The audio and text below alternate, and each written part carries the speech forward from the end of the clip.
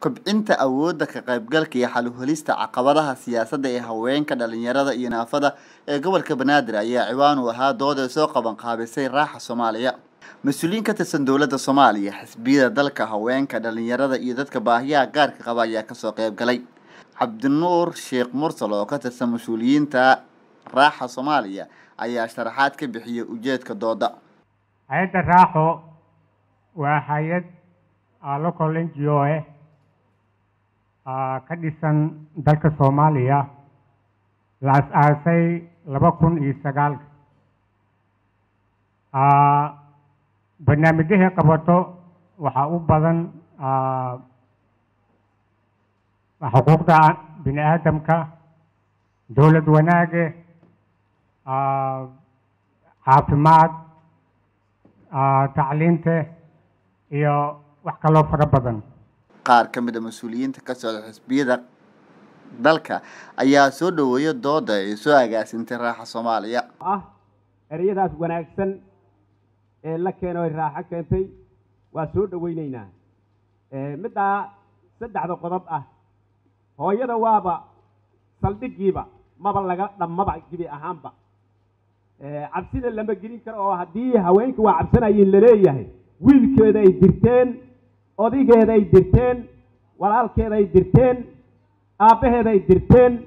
Marka ereyga ah haweenka cabsi baa reebtay waa erey aan jirin waxaan aaminsanahay. Maxaa jira waxay dhashay bay dirtay. Aada iyo aada u qiimo badan oo loo baahan yahay in la taabogeliyo sida ee dadkii ugu horeeyeenba hore u caddeeyeen. Dhalinyarada markaa ka hadlo dhalinyarada waa tiirka koowaad oo waddanka u soo baxayo. Waa dadka waddankani oo mustaqbalka ku istaagi doono insha allah haweenkana waa dadka ugu horeeyaba micnaha waxa weeyaan dadka qof walboo mas'uula qof walboo maanta horumar gaaray dadka soo gacan qabtay oo heerka maanta ay taagan yihiin soo gaarsiiyo weeyaan. Haweenkana especially aniga barnaamij arrinta haweenka ayaan rabaa inaan dhiirigeliyo. Haweenka waa hooyadeena waa waa walaalaheena waa xaasakeena marka in muhiimadda koowaad la siiyo oo siyaasadda ka qaybgalkooda iyo qeybtooda la siiyo aada baan runtii xisbi ahaan iyo shaksi ahaan intaba waa taageersanahay.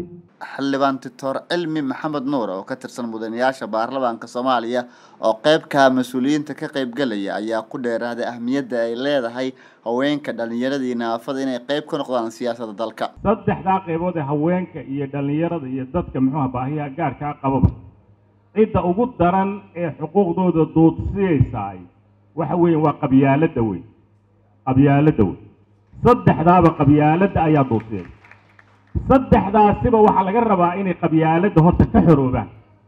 Haddii taasi aynu ka xorowno dagaalka ugu weyn aynu ku qaadno qabyaalad iyo muxuu ahay reeriyo reernimo in muxuuha aynu ka xorowno oo ka geeska muxuuha koornaha degan soomaaliya iyo ka degan xuduudka kenya degan ay muxuu ahaa isku xidhnaadaan oo networking la samaysto oo gabdhuhu isku heliyaan muxuu ahaa dhallinyaraduna isku heliso oo aanay qabyaaladii kala qoqobin. Waxaan u malaynayaa arrimaha hadda aad sheegaysaan o dhan waa laga xoroobi karaa